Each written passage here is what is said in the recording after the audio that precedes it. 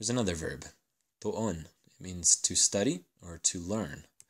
So I could say, Nagtuon kami sang Tagalog sa States. That means we studied Tagalog in the States.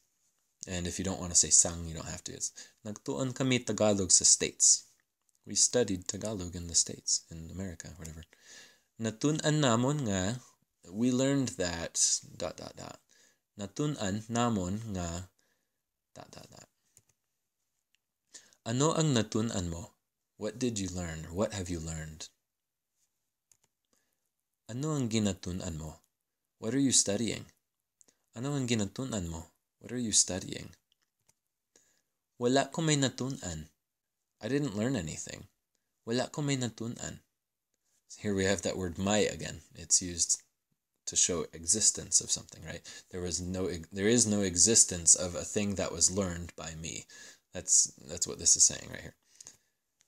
Damo ka pa you've got a lot more to learn. There's a lot more for you to learn. Damo ka pa matunan. There's a lot more for you to learn.